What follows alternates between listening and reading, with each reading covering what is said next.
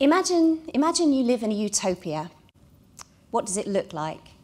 Maybe it's filled with futuristic cities. Maybe it's a rural world in which people live in harmony with the natural environment. I wonder if my utopia is the same as your utopia or the person sitting next to you. I wonder if there's mental illness in your utopia. About, about 10 years ago, I was driving around the M25 and my car helpfully decided to dump its coolant all over the road. I called the breakdown service, and a very nice guy called Graham came out, looked at my car, and confirmed that it did, indeed, it did indeed need to be towed. It's a couple of hours' drive from London to Oxford, so we had quite a long time to chat. On the journey, as, as you do, he asked me what it is that I do for a living, and I explained that I'm a scientist and I'm interested in the biological basis of mental health and mental illness. He then told me the most extraordinary story about his childhood Extraordinary because he was raised by his mum, who was later diagnosed with bipolar disorder. He told me very vividly what it was like to see her symptoms through a child's eyes, and there was one thing that he said in particular that has really struck, struck me and stuck with me. He said that one day she'd taken to her bed, she was very depressed and she couldn't get up. He'd gone in to see if he could coax her out of bed, but he said as soon as he walked in the door, he knew that that wasn't going to happen.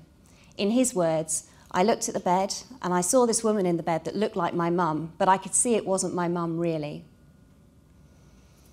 In subsequent years, I've had the privilege to talk to lots and lots of people about their experiences with mental health and mental illness. I doubt there's a single person here who hasn't been touched by this in some way.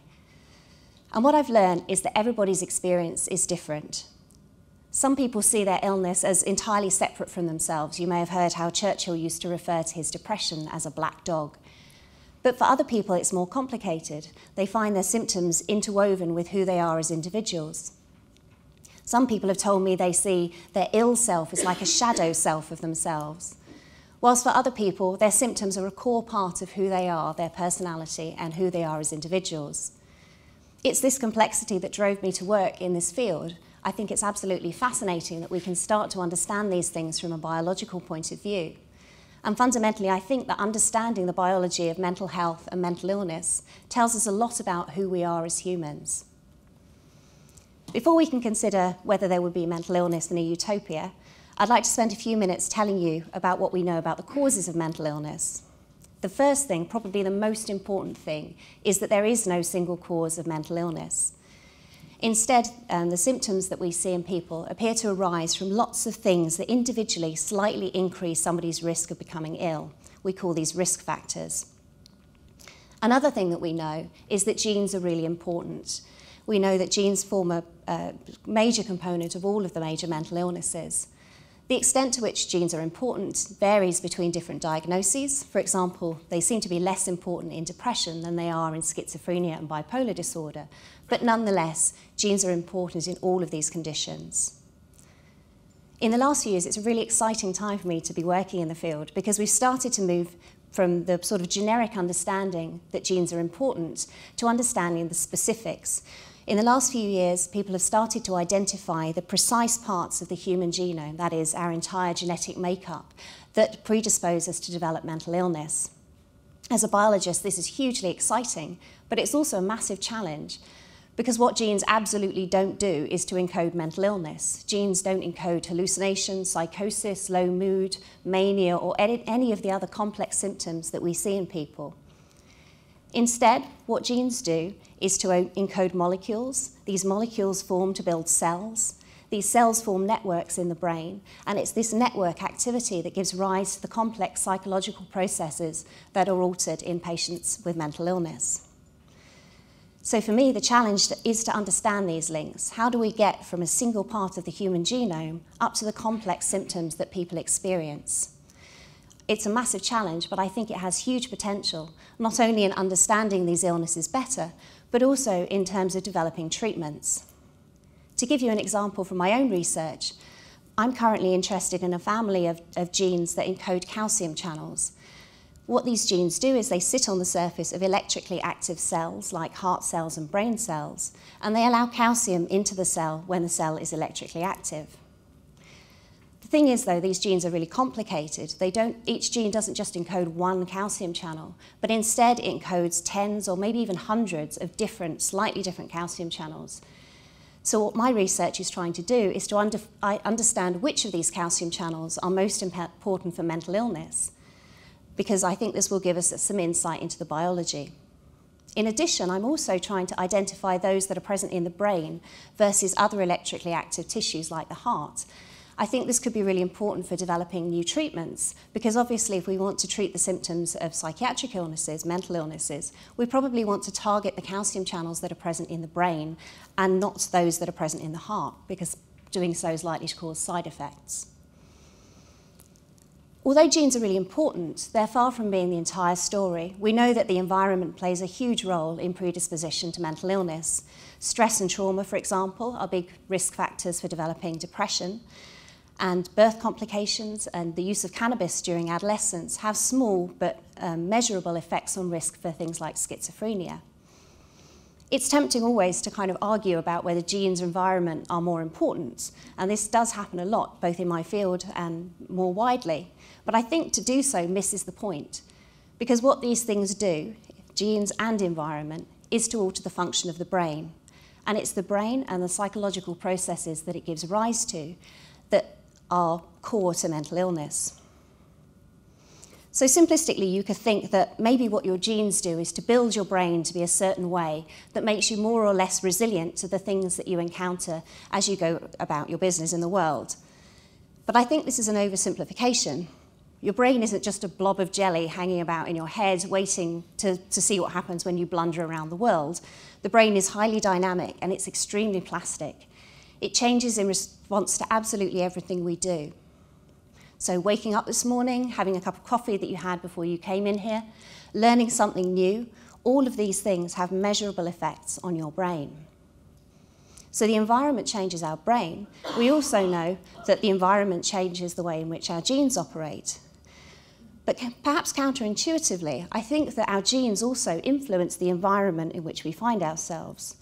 I know this is a slightly kind of odd concept, so I'll walk you through an example. We know that um, genes influence how likely people are to be risk seeking or risk averse. We also know that people who are more risk seeking are more likely to use illicit drugs like cannabis. So, this is an example whereby if your genes make you more risk seeking, you, you might be more likely to use cannabis, which is one of the environmental risk factors. So, taking all of this together, uh, the causes of mental illness are extremely complex. Both genes and the environment are important. But I think that what we should really be thinking about is in terms of what these things do to the brain and the psychological processes that the brain gives rise to. Notably, all the treatments we have for mental illness at the moment target the brain, either directly by influencing um, direct brain function in the case of drugs, or indirectly in the case of psychological therapies by acting on the psychological processes that the brain gives rise to. So, what does all this mean for our utopia? What even is a utopia? I strongly suspect that when I asked you to think about that, everybody was thinking about something slightly different. However, for the purposes of argument, we need to have a definition of a utopia, and because I'm standing here on this stage, we're going to go with my utopia. and if you want to live in my utopia, you have to live by my rules. Rule one no changing genes. I've seen enough sci fi movies to know that this never ends well, but there's two very good reasons in the case of mental illness why we absolutely wouldn't want to do this. The first is pragmatic. The genetics of mental illness are incredibly complicated. It's not the case that it's just one or two genes that are altering our risk for mental illness. Rather, it's tens, hundreds, or perhaps even thousands. So I can't see that we would ever be able to get to a place where we can look at somebody's genetics and predict with any level of certainty whether or not they are going to become ill. The second reason is more philosophical, but I think it's actually more important, and that is this. The genes that alter our risk for mental illness are the ones that influence brain function. As such, I think it's highly likely that these are also the same genes that influence who we are as individuals, our unique personalities. In my utopia, I don't want it filled with everybody who's the same with a perfect brain who thinks in a certain way. I want to capture all of the unique human diversity in the world. So, no changing genes. The environment, however, that definitely needs to change. My utopia is an egalitarian society where people are treated with equally and with equal respect for one another. As a result, levels of trauma and stress plummet, and with them, risk for things like depression, particularly.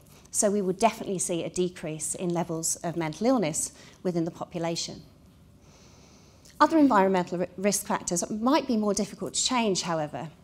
If you think about birth complications, for example, obviously in my utopia, mental health, uh, medical care will be exemplary, but I think we're going to struggle to completely eliminate birth complications for the simple reason that we've evolved to be a species that has a very large brain and a very big head and ultimately a small body. And just so the logistics of birth are inherently risky for us. So some things in the environment we can change, some things uh, we may or may not be able to change. In the middle, though, I think there's quite an interesting grey area. I strongly suspect that when you take out big risk factors for mental illness, like stress and trauma, that you'll start to see other environmental risk factors emerge that we can't detect at the moment. Ultimately, I think anything that's not great for our brain is probably going to be an environmental risk factor for uh, mental illness. So why not get rid of all of these things?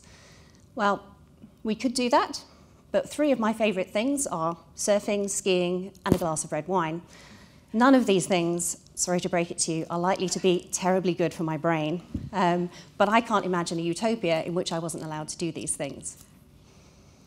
Taking all of this together, I think that there would definitely be a decrease, a dramatic de decrease in the amount of mental illness in utopia. But I think there will still be some level of mental illness present. I also think the types of mental illness that we see will, will change quite markedly. So I think Factors that are more affected by environment, like depression, for example, and anxiety, will be more, um, more reduced in this utopia than the kind of diagnoses like bipolar disorder and depression, which are more genetic in origin. So I just want to leave you with one final thought, and that is this.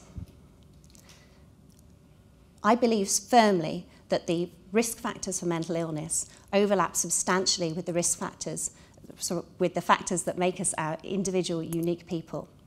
And therefore, I think on some level, mental illness is the price that we pay for our unique and diverse humanity. Thank you.